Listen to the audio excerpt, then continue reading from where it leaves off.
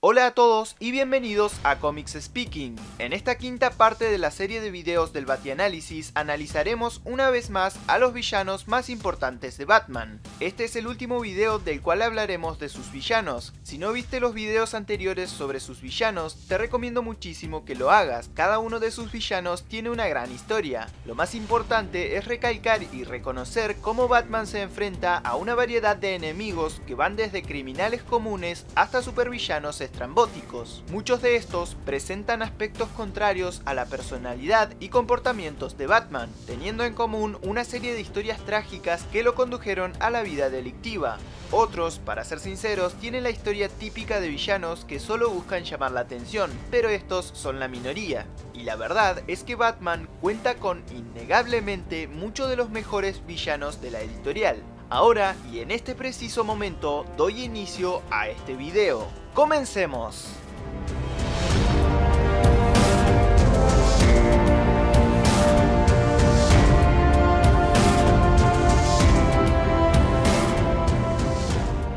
Señor Frío, Víctor Fries es natural de Nebraska, Estados Unidos. Cuando era niño, él y su madre se presentaban cada año a un concurso de muñecos de nieve. En una ocasión, cuando se disponía a ir a competir, cruzaron un lago helado que se rompió y abrió, cayendo su madre en el agua helada. Aunque consiguió salvarse, se quedó con daños cerebrales que la dejaron casi postrada en una silla de ruedas y sin comunicarse se convirtió en una pesada carga para Víctor. Al año siguiente, Víctor volvió a presentarse al concurso de muñecos de nieve y condujo a su madre otra vez al mismo lago donde había tenido el accidente para que se rompiera otra vez y se ahogara cosa que ocurrió. Años más tarde, Víctor escribió una tesis doctoral sobre el primer caso de criogenización, la de Nora Fields. Se obsesionó tanto con este trabajo que creyó que lo conocía antes de haber sido criogenizada y que incluso habían estado casados, aunque en realidad, por la edad de la chica, ella podría ser su abuela se obsesionó con la idea de sacarla de su criogenización cuando ocurrió un accidente que le bajó la temperatura corporal tanto que necesitaría de por vida un traje de protección para sobrevivir a temperatura ambiente.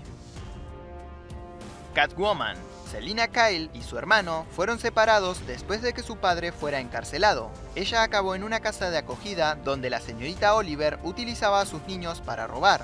Así aprendió a robar, ser ágil y escurridiza. Cuando se hizo mayor, comenzó a investigar dónde estaba localizado su hermano.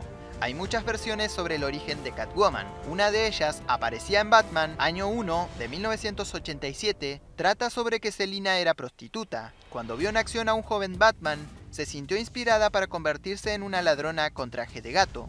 Actualmente, Catwoman no es una villana de Batman, sino una aliada e incluso se ha casado con Bruce Wayne, pero en los años 50 protagonizó muchas historias como supervillana. El Batman que ríe es una versión alternativa de Batman proveniente de otra tierra dentro del multiverso oscuro, una contrapartida maligna de nuestro multiverso. En una última batalla contra el Joker, esta versión de Bruce Wayne acabó matando al villano, pero este, antes de morir, tenía preparado una toxina variante del gas de la risa para transformar al Caballero Oscuro en una versión de sí mismo. Al final, Bruce sucumbió, asesinó a toda la Batifamilia, a la Liga de la Justicia y destrozó su mundo, convirtiéndose en un ser lleno de odio pero con la inteligencia de Batman. Fue reclutado por Bárbatos para atacar el multiverso de Tierra Prima y fue el líder de los Caballeros Oscuros del Multiverso Oscuro.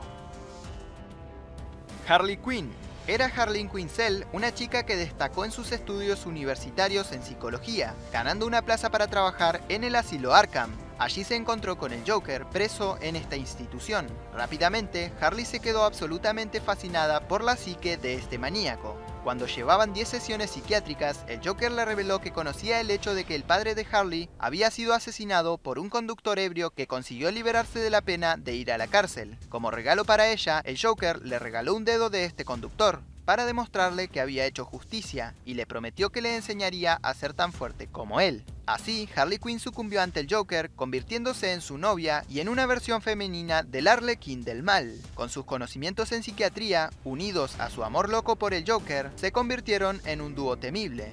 Harley Quinn fue creada en la exitosa serie animada de Batman, la serie animada, en 1993, y después saltaría al cómic. Pero el fenómeno total para el personaje fue su debut en el cine en la película Escuadrón Suicida.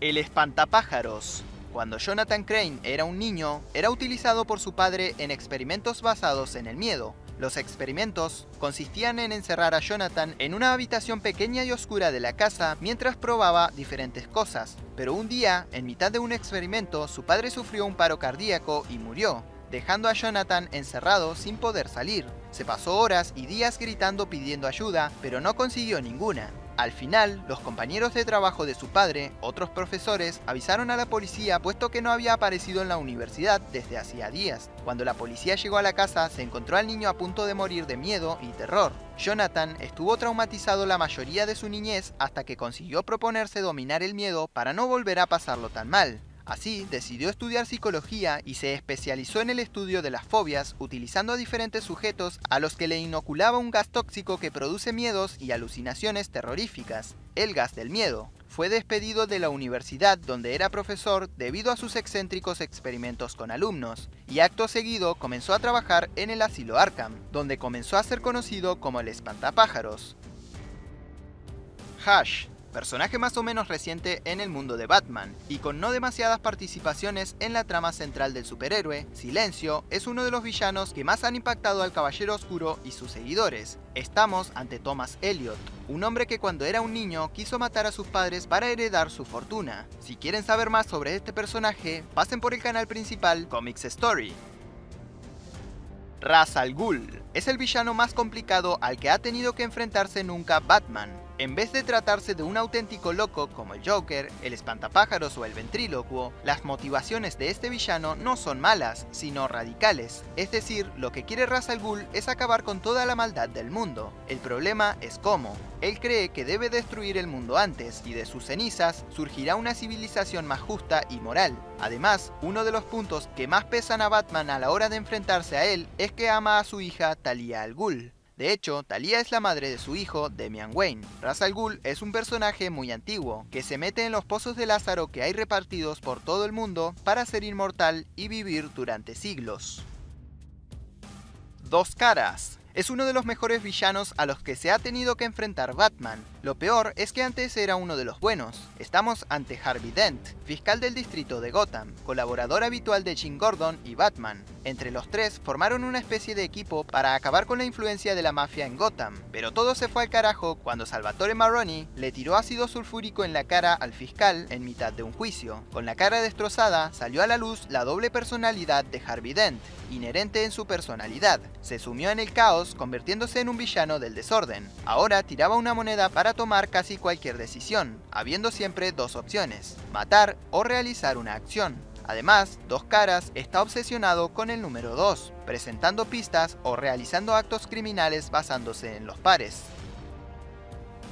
Bane fue creado en 1993 para convertirse en un nuevo e invencible villano de Batman, Bane proviene de la isla de Santa Prisca y nació en la cárcel de Peñaduro, debido a que su madre estaba presa. Tuvo que criarse entre presos muy peligrosos, por lo que rápidamente se convirtió en un tipo bastante duro para poder soportar la pesadumbre y la crueldad del lugar. Cuando era todavía un niño, después de un accidente que casi lo mata, pero que lo dejó en coma, Bane tuvo un sueño onírico en el que hablaba con su yo futuro. Su versión adulta le alentaba a entrenar mental y físicamente para algún día escapar y vencer a su mayor temor, el murciélago.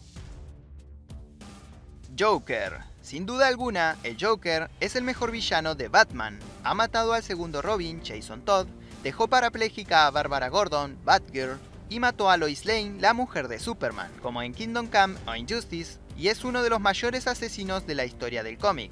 Es un maníaco siendo completamente impredecible y su mayor pasión es producir el caos, lo curioso del Joker es que tiene muchos orígenes, aunque pocas veces concuerdan del todo, ya que actualmente coexisten tres Jokers distintos. Alan Moore escribió en 1988 su origen en la novela gráfica La broma asesina. Antes era un comediante al que no le iba muy bien, por lo que decidió colaborar con la mafia. Se puso la máscara de Red Hood y se hizo pasar por él. La desgracia fue que en su primer acto criminal se encontró con Batman. Intentando huir del Caballero Oscuro, cayó dentro de desechos radiactivos, quemándose su cara y pelo, lo que provocó que su aspecto se asemejara al de un payaso. En ese momento el Joker perdió totalmente la cordura. Después, Scott Snyder reconfiguró el origen del personaje. Parece ser que estamos ante un individuo que estuvo en contacto con un meteorito que le dio la inmortalidad.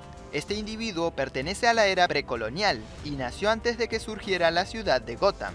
Además de haber tenido diferentes orígenes, ha tenido muchas versiones diferentes dependiendo de la época o el medio.